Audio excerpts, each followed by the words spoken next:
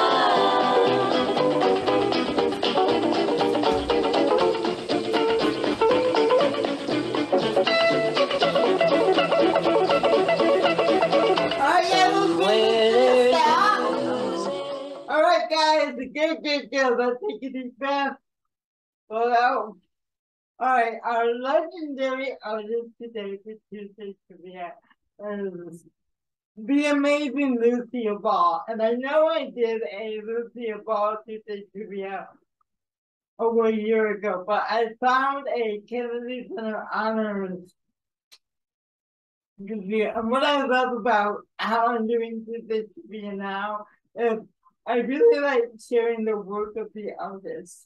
So not so much asking a bunch of questions, but really sharing the work of the artist.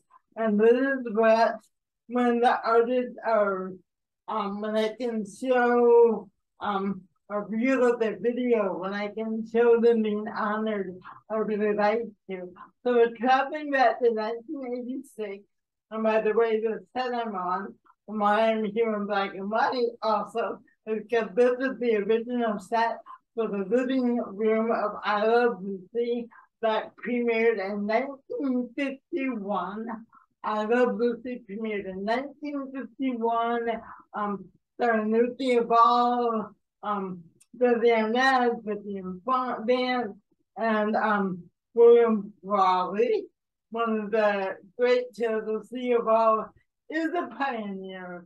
You're going to hear a lot more about her. You're reminded about why she is a legend. Please enjoy this Kennedy Center honored tribute to Lucille Ball, which um, was from 1986, probably before some of you were born. But that's the great thing about YouTube is it's like a living history of our great artists that I can share with you. So please enjoy this, and then we'll come back for our bonus round. Ladies and gentlemen, Walter Matthau.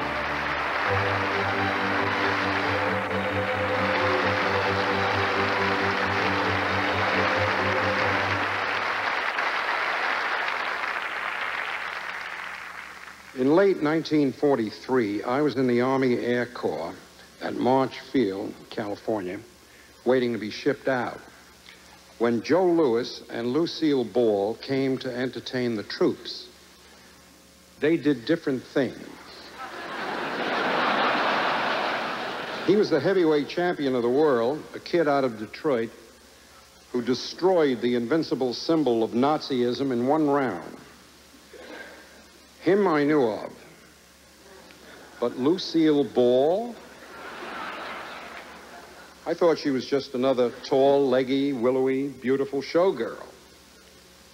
But that she was also a superb clown of infinite range was not known to me until that moment. In the early days at RKO, Lucy would say yes to almost any part. She would have swept the stage if that was the only way she could get on it. Fifteen years later, she owned the studio. then along came TV. A lot of people told her, don't do it, Lucy, don't do it. It's a dead end. But Lucy said, let me at it. And at last it was the perfect role. They let Lucy be Lucy.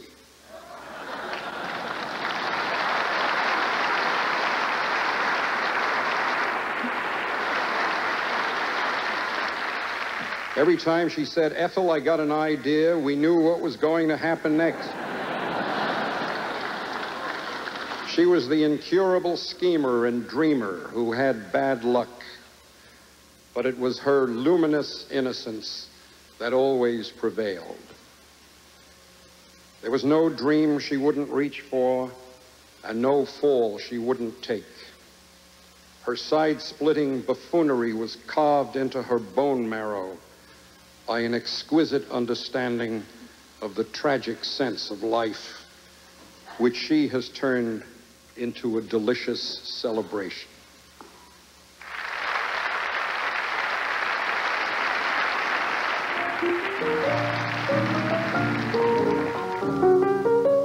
Every spring, she tried to walk from her home in Jamestown, New York to Broadway. Until finally, she quit high school to take acting lessons in New York.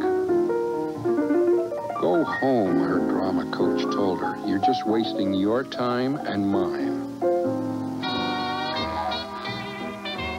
But Lucy knew what she wanted, and she wouldn't go home.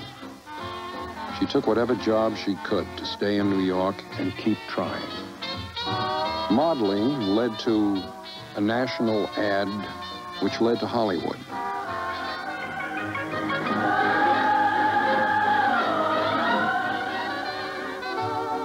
From a minor showgirl, she progressed through a variety of miscast parts and stock Hollywood types in grade B movies.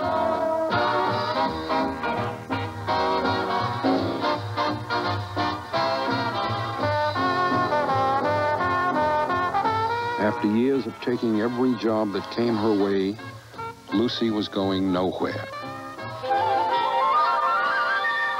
We present Lucille Ball in My Favorite Husband. Then a successful radio series prompted the infant medium of television to ask her to try a domestic comedy. But executives found preposterous her idea to co-star with her Cuban band leader husband. So they took their act on the road. Excuse me, Mr. Pete. Yes, ma'am. Have the Cubans a different beat? If they have, will you teach me to chick, chick, chicky boom, chick, chicky boom? Success convinced the reluctant network to give them a chance. And what a chance it was. Now you pick up the bottle. Oh. A little higher. That's right. The answer to all your problems is in this little bottle. Vitameatavegamin. Vitamita Vegemin contains vitamins, meat, vegetables, and minerals. Yes, with Vitameatavegamin, you can spoon your way to health. all you do is take a tablespoonful after every meal. Now you take some. Oh. It's so tasty, too.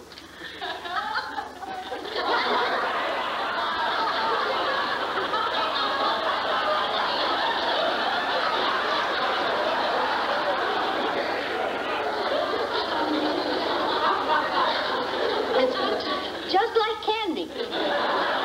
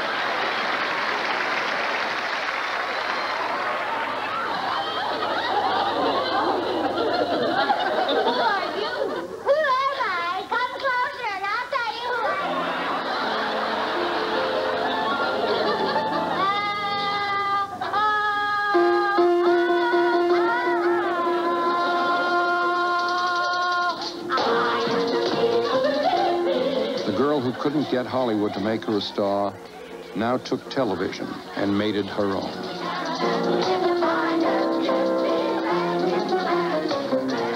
And an entire nation awaited the birth of her son. Ricky, this is it. This is it.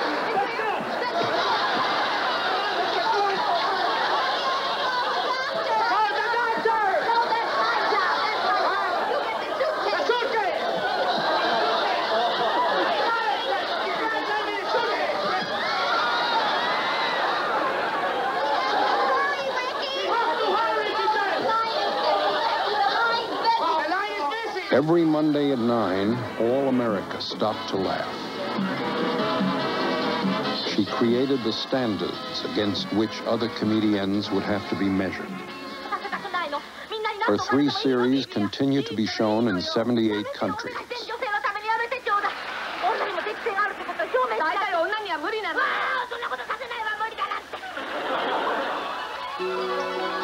She is the world's most celebrated female clown.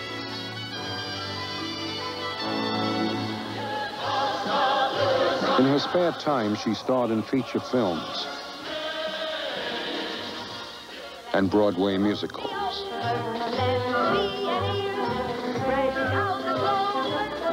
Like the great stars of silent films, she creates a sublime balance between comedy and feeling.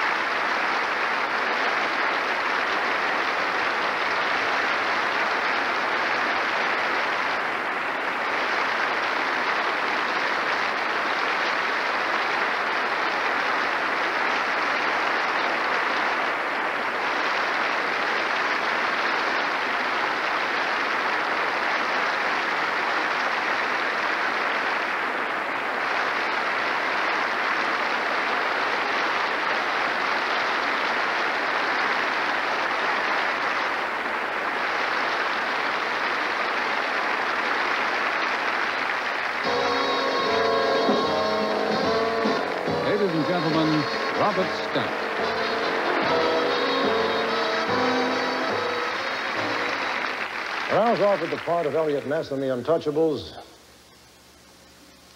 I can remember the lady sitting up there was sitting in the front office. She was the boss.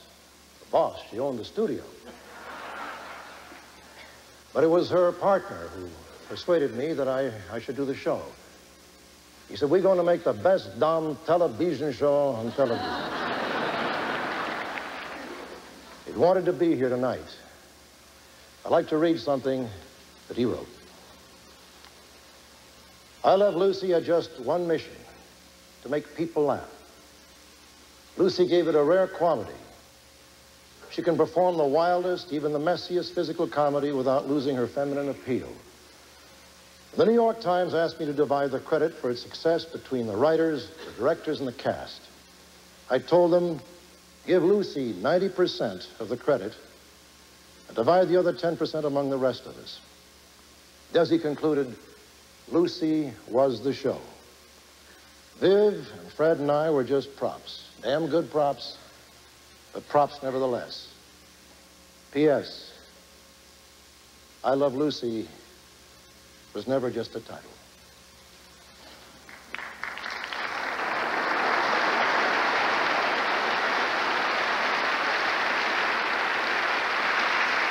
Will as you remember that you established a place in television for women. There's some here tonight that have flown all the way out from Hollywood to pay their respects to you. Ladies and gentlemen, the Golden Girls, Bea Arthur. And my sister Sam, Pam Dawber. And Valerie, Valerie Harper.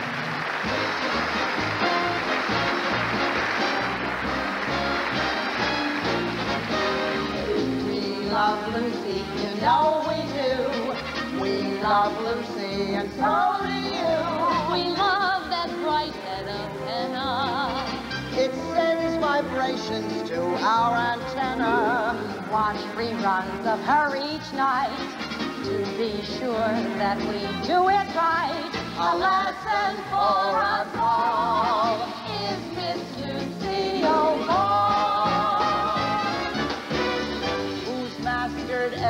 comedy trick Lucy, on top of every comedy shtick.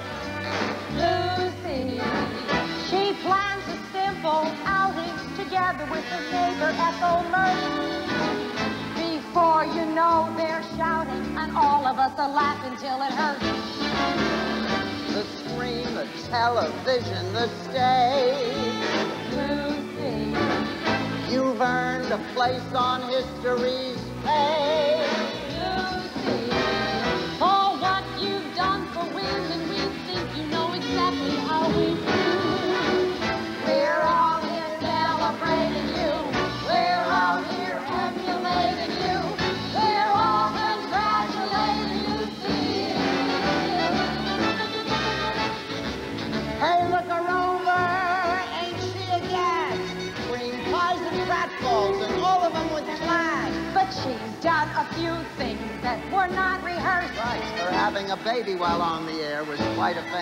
First. She's been first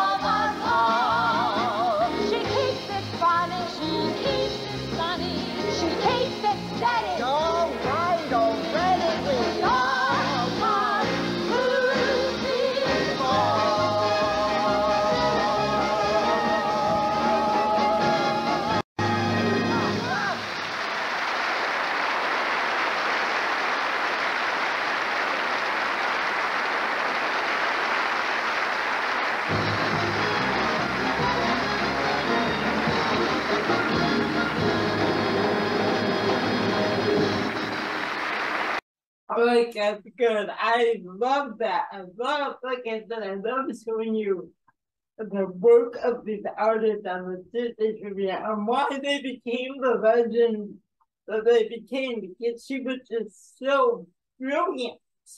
And her moment to moment work was so brilliant and so specific. And that's what I want you to know, the actor that I work working moment to moment and being in the moment and not playing for laughs, but playing the moment to moment work. And because she did that, it just made her work brilliant. All right, let's go to the bonus round.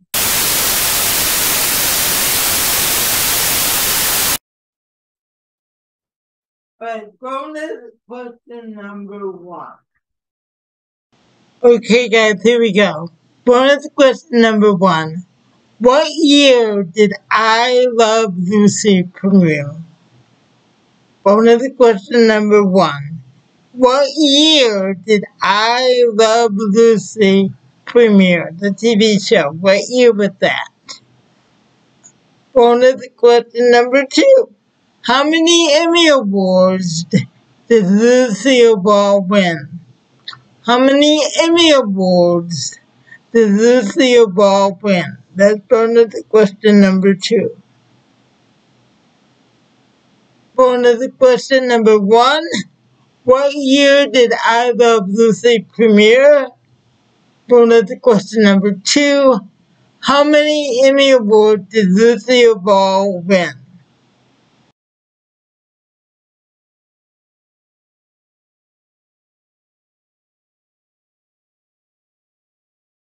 All right, guys. So those are our bonus questions. You know what to do. You either um, email me at dejclass at gmail.com or text or leave a voicemail of 323 364 2478.